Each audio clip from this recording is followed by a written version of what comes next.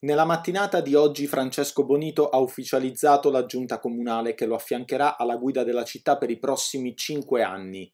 Contestuale la prima riunione per dar seguito alle prime progettualità. È una squadra giovane, di alto profilo, capace di tenere dentro il giusto mix tra innovazione ed esperienza, espressione del nuovo centro-sinistra che guarda al futuro, ha fatto sapere il primo cittadino. A proposito di centrosinistra è rilevante la mancata concessione di ruoli, almeno fino ad ora, al gruppo di Tommaso Sgarro, determinante per la vittoria al ballottaggio. Ad affiancare il sindaco ci saranno invece Maria Di Biceia nel ruolo di vice sindaco e assessore al welfare, Teresa Cicolella alla sicurezza e polizia urbana, Rossella Bruno per cultura, politiche giovanili e sport, Olga Speranza all'attuazione del programma e fondi europei, il tecnico Pietro Gianfriddo su bilancio e programmazione e Mario Liscio per ambiente e lavori pubblici.